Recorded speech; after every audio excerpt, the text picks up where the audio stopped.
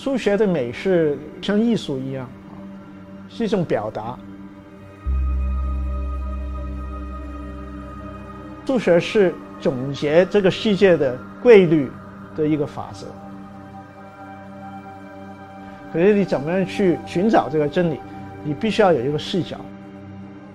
可能一个数学家理解这个世界别的方面，也是透过认识数学的方法去认识的。美的产生啊，韵律的产生，这都有规律。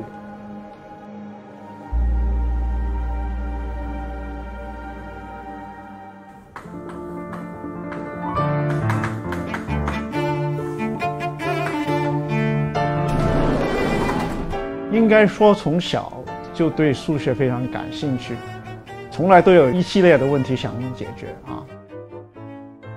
所以有这样的一个热情，就是说必须要解决问题。第二是要解题的时候要给出正确的的解，不仅仅是说逻辑上正确，而是从美学来讲的话是正确的。比如说你走一步就可以达到那个地方，你走了几步才到？那从我的观点来讲，不是最好的解决。为什么我对自己要求高？哎，我想。多多少少从我父亲那边学来，我父亲的呃，把他的要求表达出来，可是他没有给你任何压力，呃，应该是说，呃，他是对自己要求。那你看他的例子，你会学到什么样对自己要求，而不是说对别人要求很高。我家里兄弟姐妹比较多。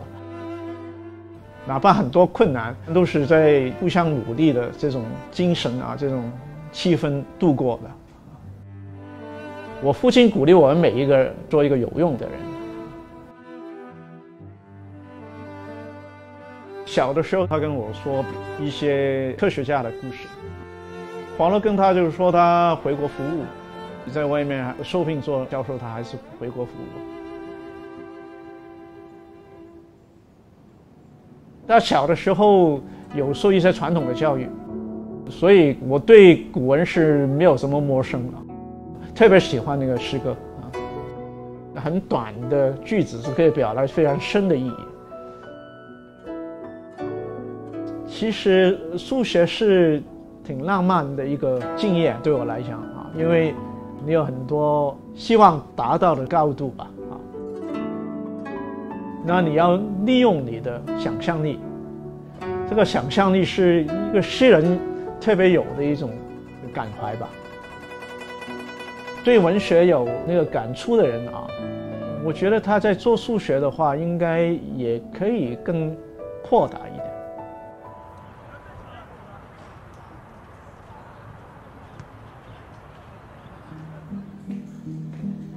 我从从小要找原理的人。要找根本的人，我有这种原动力，要学一些新的东西啊。这也是我为什么会对语言感兴趣。我觉得人都是要用语言来沟通的。这么不一样的语言中间，它有什么共同的地方啊？譬如说，我现在看这本书叫《Google 的 Language g e n e c a l 一本非常经典的、比较原学的教材。呃，这边是的 Romance Language 的一类。比如说，这本我最近翻了一翻，是是那个西班牙语的新闻法。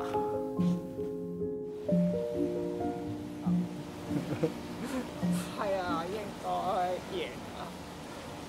应该呢个叫做七国爭雄，最紧要第一步。中学一年级到五年级都是同班同学。他学是很廣博。我中学的时候不太告诉别人我在学什么。因为我不太想跟别人不一样，懂太多东西的话，人家不跟你做朋友。啊，他是一个很和善、很呃平易近人的人，他很有很多个学生也很有名的。啊，不同地方。就呃外国啊也很有名啊。当一个世界的数学家。很小的时候就有这个想法，然后慢慢的、逐渐的把它实现，在世界里面到处去讲学啊，到处跟人沟通的。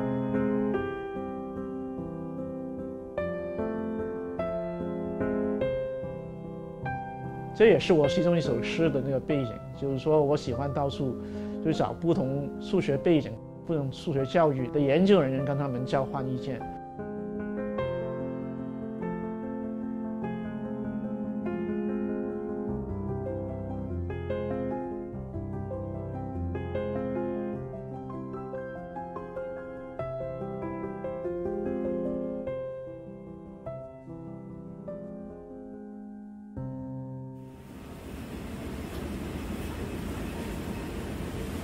我住在九龙很远的地方啊，每天都要坐船，所以每天都见海，很喜欢小轮，有一种面对世界的感觉。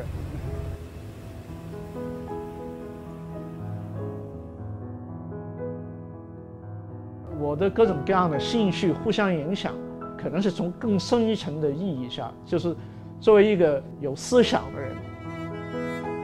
你就是你的学问的总和啊！你学到一些东西的话，总会影响你的世界观。你一个人一定要用尽你的能力，为民族服务，为世界服务，为你的城市服务，为你的家庭服务，这是我从来有的一种哲学。那么你的天分有多少，你自己也不知道。假如说你天分应该是很高的，你没有达到那个高度的话，你是浪费。你假如天分没有那么高的话，呃，你很努力，尽量接近这个、这个的水平啊，那你已经勇敢过一生。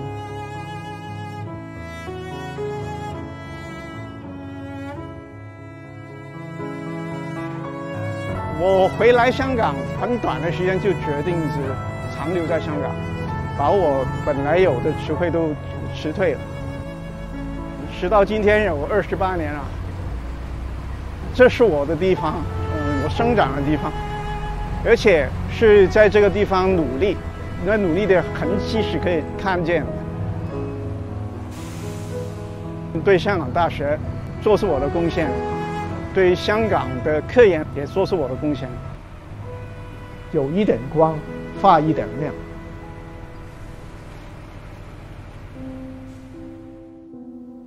宇宙之大，粒子之微，火箭之苏，化工之巧。t h e savantigne de ce nom, de géomètre surtout éprouve en face de son œuvre la même impression que la mathématique est le Königin der Wissenschaften und die Arithmetik ist die Königin der m a t h e m a t i s c h jedyna nauka.